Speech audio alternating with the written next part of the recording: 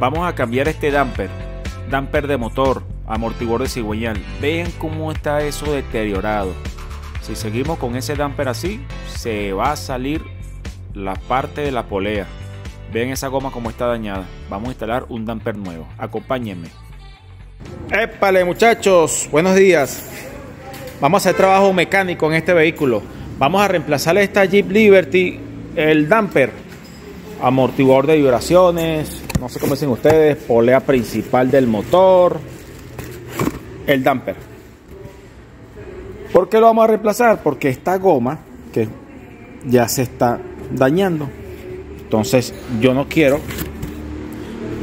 que se vaya a terminar de dañar la goma porque se puede separar esta pieza. Entonces vean que este damper ya viene balanceado.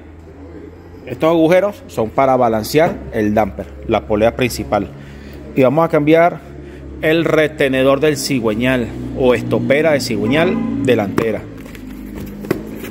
Marca Dorman. Dorman es una buena marca. Nos ha salido buena. Aquí le dejo el número de parte.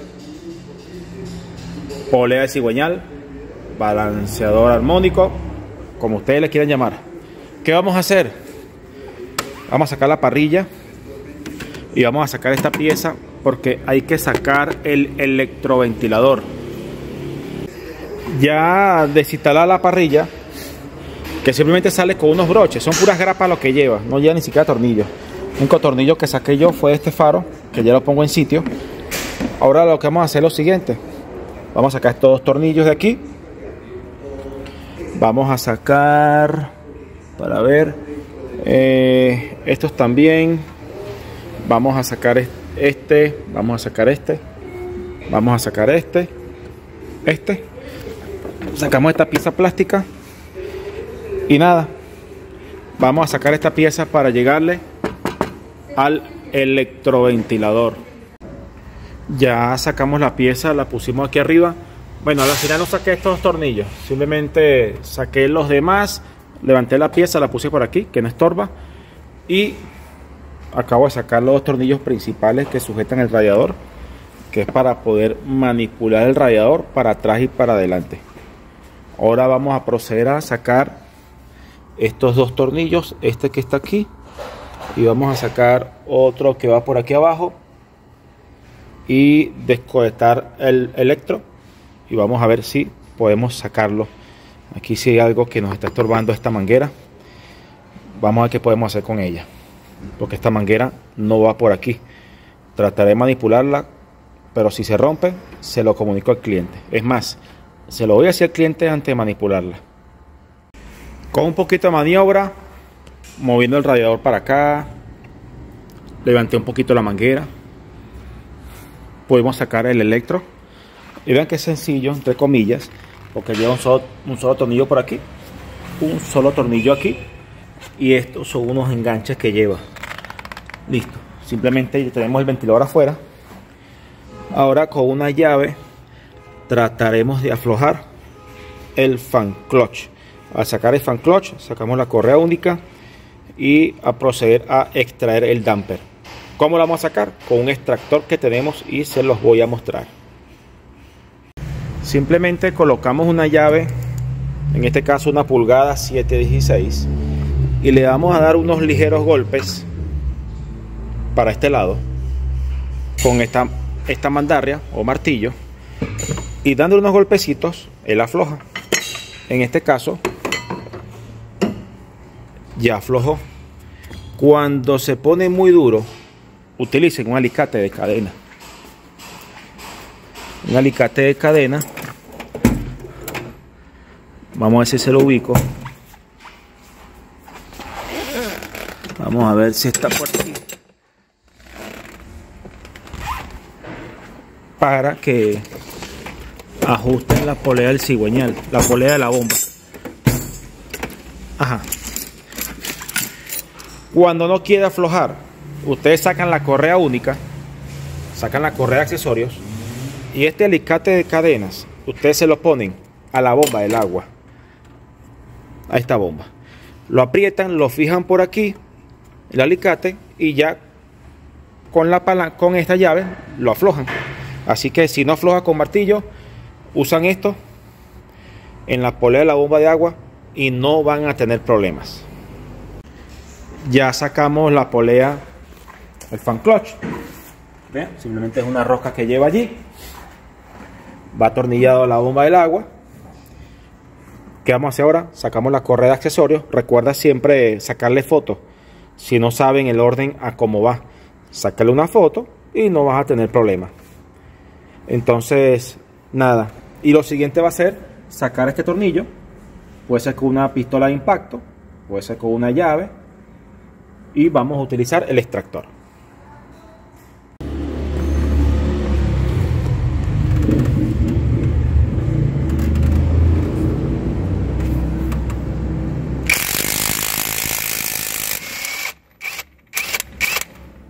Mucho cuidado con el rayador. No vayan a golpear el rayador. Hoy día muchos tienen pistola de impacto. Se le hace más fácil. Si no, usan una llave y por aquí le meten una palanca para que el damper no dé vuelta. Simplemente eso. Ven el tornillo. Ahora vamos a utilizar el extractor de damper. Esta marca es muy buena, pero igual, existen muchas en el mercado. Y todas son muy similares a esta. Vean. El extractor tiene que ser así como esto, tal cual. Y lo venden para Chrysler, Jeep y Dodge. Ojo, esto aplica para muchas marcas de vehículos, pero básicamente en su mayoría se utiliza para esta marca. Se enrosca aquí y nosotros vamos a elegir cuál de los tres vamos a ocupar. Simplemente eso, para ponerlo aquí. Eso es todo. Entonces, creo que el que más utilizamos es este, porque estos dos están nuevos. Entonces, lo que se hace es lo que se hace es colocar esto aquí en el orificio y el extractor va a agarrar aquí en estas paticas que ustedes ven aquí en estas pestañitas es que va a agarrar las tres paticas se me hace un poco difícil filmar porque estoy trabajando solo aquí. Eh, Gabriel está con otro vehículo, Cleve está allá. Entonces, bueno, voy a darle paso a paso. Vean cómo está colocado el extractor. Ahí se dan cuenta cómo está agarrando cada uno de los tres costados. Entonces simplemente vamos a darle a apretar. Al darle apretar, el damper va a ir saliendo.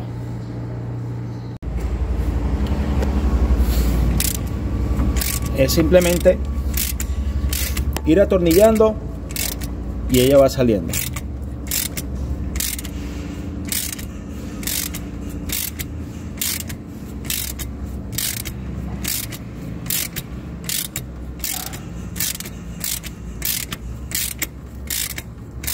Vean cómo va saliendo la polea.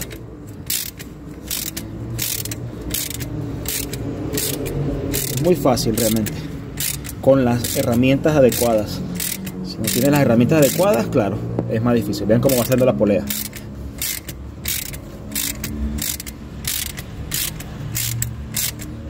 Ahí está casi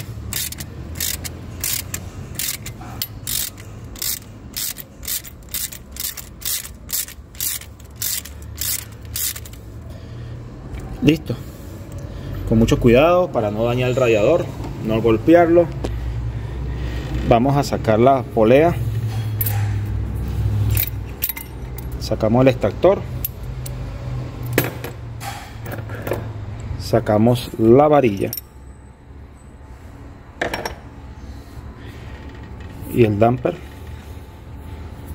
para afuera. Ven esto compañeros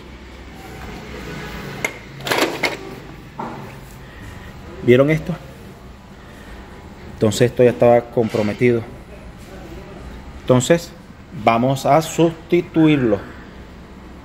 Y de una vez vamos a cambiar este retenedor. Vamos a reemplazarlo para garantizar un buen trabajo. Epale Jorge, ¿cómo estás? Mira. ¿Te acuerdas? Ahí se ve mejor.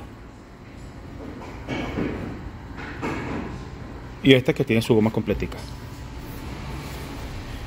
Lo que yo voy a ver. Esta herramienta es ideal para hacer estos trabajos. Pero también con un desarmador, con ingenio, lo puedes hacer. Vamos a ver si puedo hacerlo mientras grabo. Entonces lo que voy a hacer es ver a través de la cámara. Voy a tratar de ver a través de la cámara porque no tengo mucho espacio para ver. Listo. Ahí está. ¿Vieron? ¿Cómo salió? Preciso.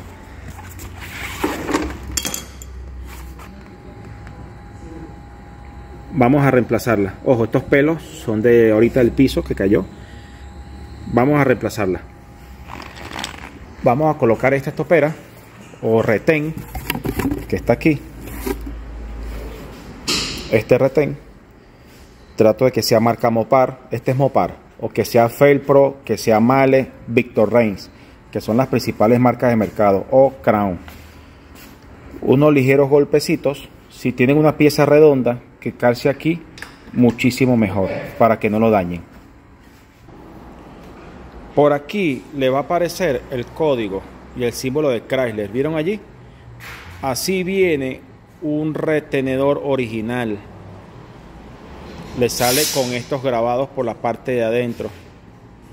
Cosa que no tiene las imitaciones. No lo tienen. ¿Vieron? Hecho en México. Mex. Él le dejo ese tip. Cualquiera, cualquiera de estos dos me va a servir. Vean cómo el retenedor calza aquí. Entonces puedo golpear con este o con este. Voy a utilizar esto para empujar el retenedor con unos golpecitos. Lo que no sé si les pueda filmar me va a ser muy difícil. Coloco el, coloco el retenedor y seguimos, señores. Simplemente es tratar de calzarlo en su posición. Lo que pasa es que tengo que agacharme bien. Calzarlo no hace falta utilizar silicón, nada de eso. Simplemente ustedes ven cómo está calzado allí.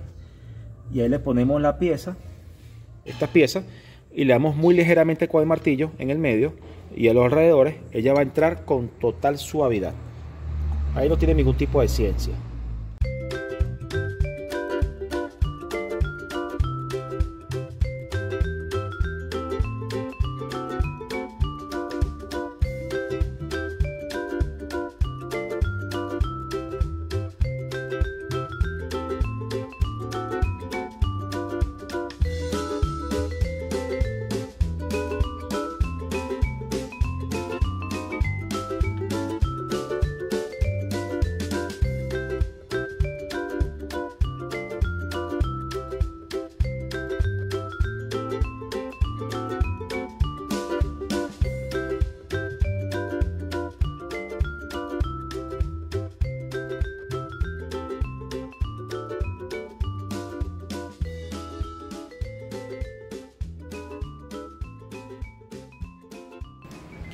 Aquí lo que hice fue lubricar. Puede ser con grasa, puede ser con un poquito de aceite. Para no maltratar el retenedor. Pelusa, eh, manchitas no. Ok. El retenedor ya está instalado. Tiene aquí una cuña. Vean, una cuña. Y esa cuña es lo que sirve de guía para colocar el damper. Nada, señores, esto tengo que hacerlo con las dos manos. Coloco el damper en su posición. ¿Y qué va a llevar el damper hacia adentro? El mismo tornillo al ir enroscando va a llevar el damper hacia adentro. O también puedes ponerle un taco, un taco de madera y darle unos golpecitos para que el damper vaya entrando. Cualquiera de las dos vías. El mismo tornillo va a ir cerrando o instalando la polea en su sitio. Entonces no van a tener problemas con ello.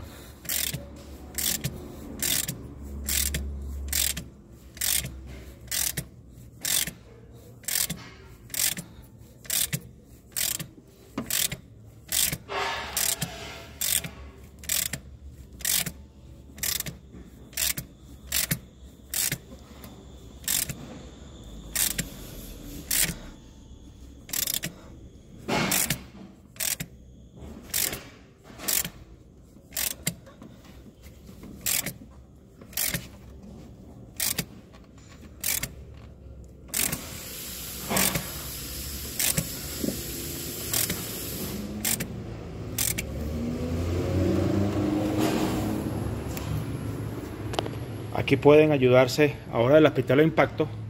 Y con el solo apriete las pistolas de impacto tienen. Igual les pongo el torque que lleva eso específico que manda la corporación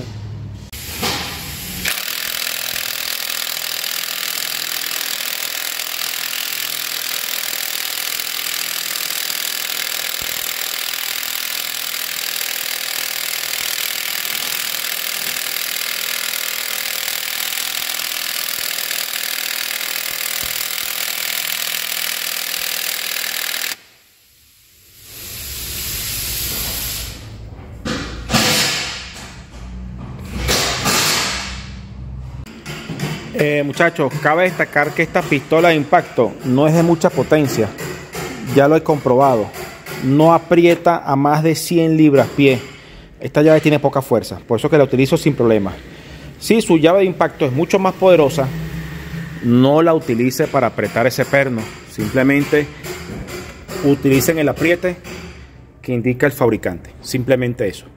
Nada, señores, saqué la polea esta se me olvidó decirles, a última hora saqué la polea para tener mejor, mejor visión. Simplemente es colocarla de una de las poleas del tensor.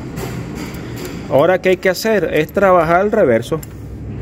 Es decir, ir hacia atrás, como dicen los americanos. Entonces voy a apretar aquí, es poner la correa única, colocar la correa única, colocamos el fan clutch, colocamos el el ventilador y así vamos. Vamos ahora hacia atrás. Está puesto la correa única, está en buen estado. Recuerden siempre revisar cuando están trabajando. Si ustedes ven algo por allí que necesita ser reemplazado, se lo informa una vez al cliente y así el cliente aprovecha que el carro está en el taller para que le hagan el reemplazo. Aquí simplemente, bueno, y que ponme esto ya en la mesa, por favor. Por allá. Aquí simplemente vamos a colocar la llave. Esta que está aquí. Y le vamos a dar un mínimo golpe. Dos golpecitos para medio trancar y listo. No hay que darle muy duro a esto. Dos golpecitos y ese fan clutch ya queda fijo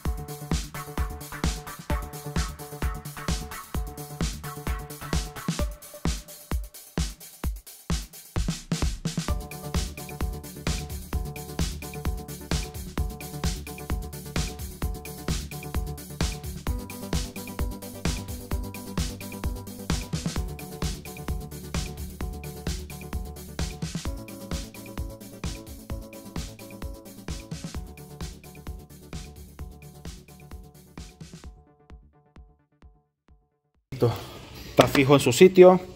Es colocarle un tornillo aquí un tornillo acá conectar el electroventilador y armar estas cosas para atrás prender el vehículo verificar de que prende el ventilador. Eso lo hacemos de último. Seguimos.